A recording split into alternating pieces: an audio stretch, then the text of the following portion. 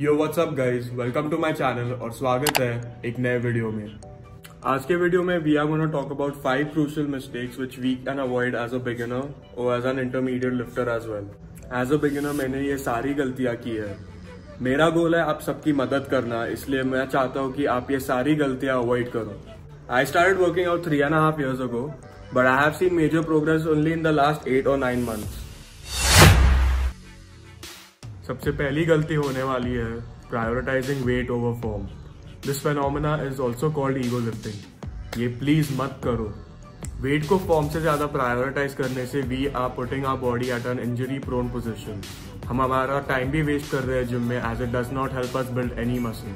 तो अगर आपका फॉर्म एक एक्सरसाइज पे गलत है तो कोई बात नहीं। Just lower the weight on the exercise and learn the form properly first Trust me, you won't be able to impress anybody if you come to the gym and enjoy yourself only because of ego lifting. दूसरी गलती जो मैं आप सबको बताना चाहता हूँ is not counting your calories पहले आपके गोल्स क्लियर रहने चाहिए इफ़ यू आर बल्किंग और if you are cutting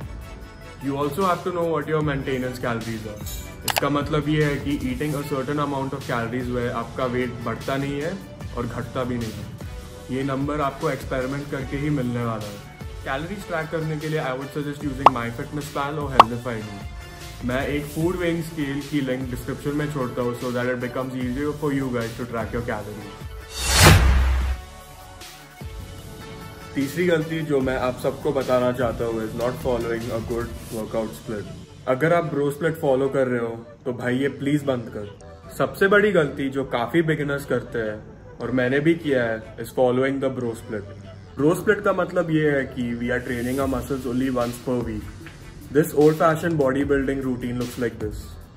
ये फॉलो करने से we are not training our muscles as frequently as we should be to maximise muscle growth we should be training our muscles two to three times every week अगर आपने gym just चालू किया है और आप एक बिगिनर हो तो I would suggest going for a full body workout split three times a week for the first two to three months After these 2-3 months, I would suggest going for a legs push-pull workout split where you train 6 times a week and have only one day rest. मैं आप सभी के लिए एक legs push pull workout routine description में डाल देता हूँ। So if you have access to a gym right now you can check it out और मैं एक full body home workout routine भी डाल देता हूँ क्योंकि सैडली जिम्स बंद हो गए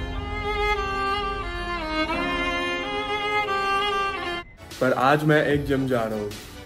मेरे एक दोस्त के घर पे एक अच्छा होम सेटअप है और मैं उधर ट्रेन करने जा रहा हूँ। अगर आपको वीडियो अभी तक पसंद आ रहा है तो प्लीज़ जाके लाइक करो सब्सक्राइब करो and make sure you share this with a friend who is interested in body building as well Instagram पे सपोर्ट नहीं करते हो तो जाके वो भी करो। उधर मैं डेली अपडेट्स और फिजिक अपडेट्स डालते रहता हूँ so that we can stay connected so आप जस्ट गॉट रेडी मैं अभी जिम के लिए निकल रहा हूँ। मैं मेरे दोस्त करण के साथ ट्रेन करने वाला हूँ। तो मैं मिलता हूँ आप सभी को वर्कआउट के बाद।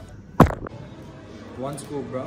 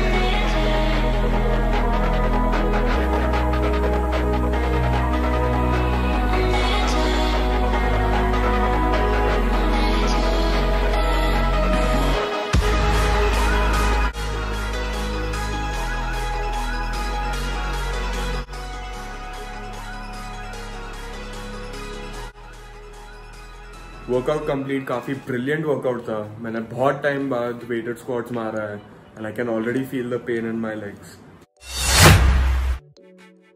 चौथा मिस्टेक जो हमें अवॉइड करना चाहिए इज़ इग्नोरिंग स्ट्रेचिंग तो अगर आप वर्कआउट के पहले स्ट्रेचिंग और वर्कआउट के बाद स्ट्रेचिंग को इग्नोर करते हो then trust me you are missing out at a very important part of muscle building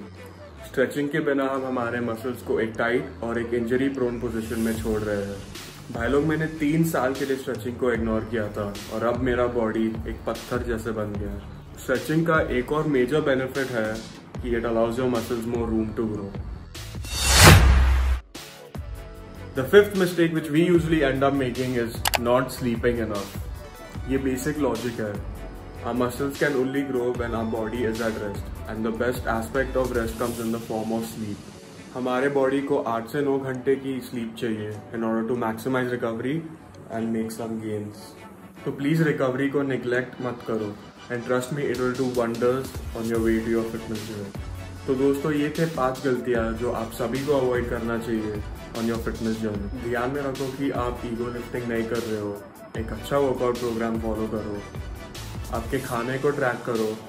और फोकस रिकवरी पे ज़्यादा दो।